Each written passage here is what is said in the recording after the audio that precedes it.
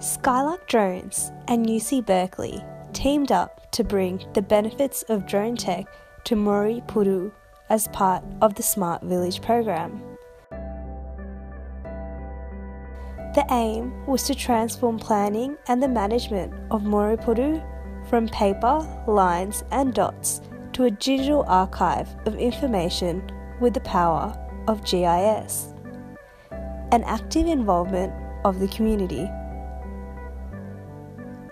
What transpired is a solution that helps achieve at least four of the 20 non negotiables, along with the additional benefits that continue to be discovered,